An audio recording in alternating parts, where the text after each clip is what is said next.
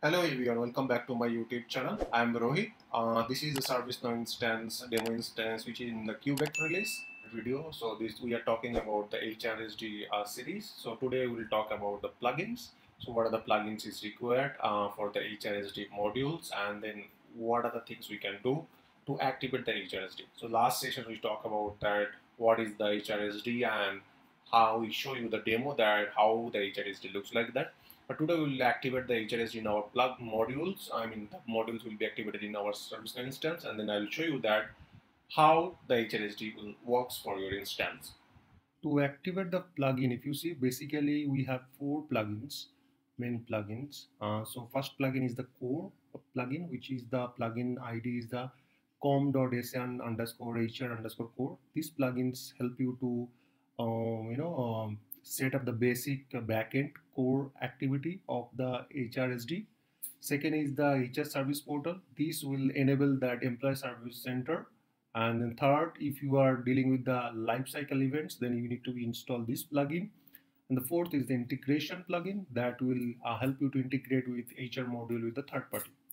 So very first thing is that I have to go back to here in this module and type the plugins. In the plugins module, I'll search for the uh, HR core module. So let's search that. So this is the plugin module which is loading. It usually takes some time. So first I have to be install this uh, core module. Uh, so let's do that. Before that, if you type that human resource or HR, uh, you cannot see any module under this left navigation.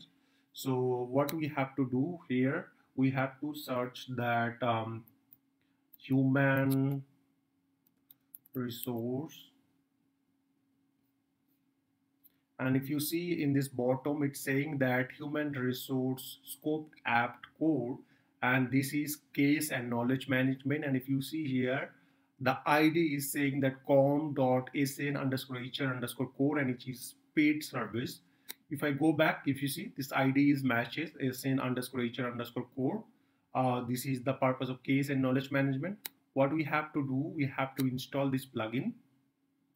Once you click the install, uh, you will see that the multiple plugin dependency status are showing. Some of the plugins are will be activated, some of the plugins are already activated. So their status is showing that these or the module or these are the plugin will be activated. These are the plugins already installed and if you see the some of the plugins uh, are will not be loaded because these plugins are in, uh, inactive. So in that case this plugin will not be installed by default.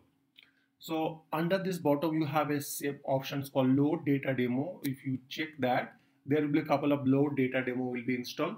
For production we normally don't check the load data demo but in the non-production environment to check the data how the data is representations the ServiceNow will create some demo data for us. So we check the load data and click the activate.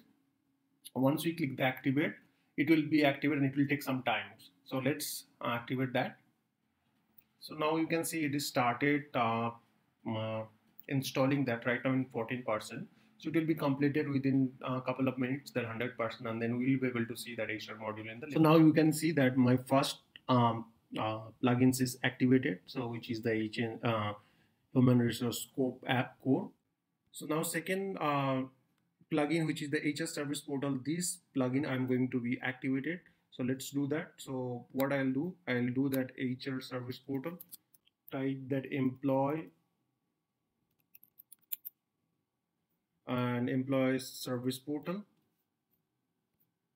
And here we go, we have employee service portal. We, I'm going to activate this one. So I'll do the load demo data and click install. So this will um, install that employee service center. So lastly, I will install the case and knowledge management this plugin. I'll click here and then load demo data and click install. So it will be install the case management also. So let's complete that one also. so our plugins is installed here successfully. And if you see the document that we have installed this one, uh, this um, core one and then HR service portal along with that case and knowledge management. Three plugin we have installed. We don't install the lifecycle events and integration. We'll do the further uh, in our next video. And then if I type in the left navigation called HR, and then you can see that HR case management is available. And in this HR case management, uh, we have an option called create new case, create bulk case, and all the HR case module, all the HR case are available here. And if you see here uh, under these HR uh, um, integrations are also available. And here HR administrator module also available where we can configure that HR module. So in our, our upcoming video, we'll talk about that how we can configure all those details one by one. So till the time, uh, please share, uh, like, share and subscribe my channel and hit on the bell icon. So if you have any feedback, let me know in comment section. Thank you very much. Have a great day.